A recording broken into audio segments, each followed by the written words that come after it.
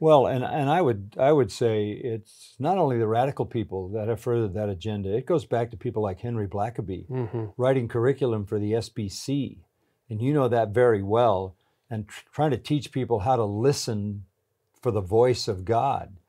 You, you, that that's a very popular notion. You you hear very very popular, well known. You would think mature pastors talking about listening for the voice of God. Um, the, the fact of the matter is, God has spoken, but He has spoken in His Word. And if you claim anything in addition to His Word as divine revelation, shall be added to you the plagues that are written in it. That is about as stern a warning as you could get, and that's how the entire Bible ends. Don't take anything away and don't add anything, or what'll be added to you, you won't be too happy about.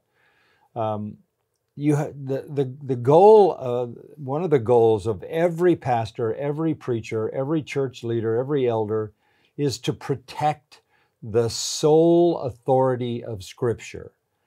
If we leak on that, then we've really lost our grip on the truth. I remember listening to a charismatic uh, or moderately charismatic guy say, when Tom or Sally stand up in your church and say, Thus saith the Lord, we know he either did say that or he didn't. Well, I, I suppose um, that seemed like a simple explanation to him, but that's exactly the point. We don't know. If, it, if you don't know whether God said it, then why would you claim authority? You know, the, the Apostle Paul, who was caught up into the third heaven, came back and said there, that he saw things that, that he couldn't even speak. He was not permitted to speak. Why wasn't he permitted to speak? Why didn't Paul tell us what he saw when he went to heaven? Because this was beyond Scripture. Even Paul, he actually had a trip to heaven, not a bogus one to, to, to write a silly book.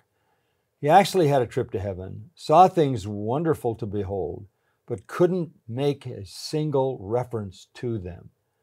But rather went on to talk about his, his humility, his humiliation, his thorn in the flesh, his weakness, and all of that. So the Apostle Paul, think about it, who wrote 13 of the New Testament books, outside those 13 books, couldn't even give a report on his trip to heaven. That's that's pretty that's pretty hard and fast. Because once you allow for revelation beyond scripture, then the, the, the idea of authority is cut loose from the boundaries of Holy Scripture. And I think um, Jude makes it clear when he says, We proclaim a once for all delivered to the saints faith. In other words, as a body of revelation, it was once, once for all delivered, not dribbled out sequentially for the next 2,000 years.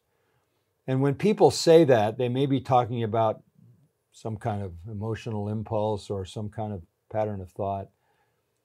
But you can make the promise that at no point is God now revealing Scripture to anyone. I think there's an analogy to that that um, might help. When you look at the created universe, you have to understand that God made it all in six days. And He hasn't created anything since then. It's pretty remarkable. He hasn't Mm. created anything since then. The water that He created in Genesis 1 is the water that you drink now. Everything that He created is in existence. None of it has disappeared, except it's gone to ashes and then it's recycled as matter. He only created once. He created the universe the way it is, and nothing has been added to his creation. And I think it's that way with Scripture. He inspired by his Spirit the, the Word of God, the Holy Scripture, and that was the, the, the end of the revelation, and it was complete and finished.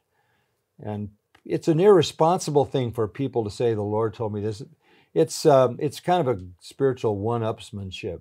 You know, you, you, as if I I can't argue with you because the Lord told you something. Uh, I, have I've suggested that how do you know when it's the Lord? I mean, does the red light go on on your head and blink when it's the Lord? How do you know when it's the Lord? Well, if you don't know and you're not certain, then um, you can't say it was the Lord. And and I would suggest to you that it's not the Lord because he's already deposited his once for all delivered revelation.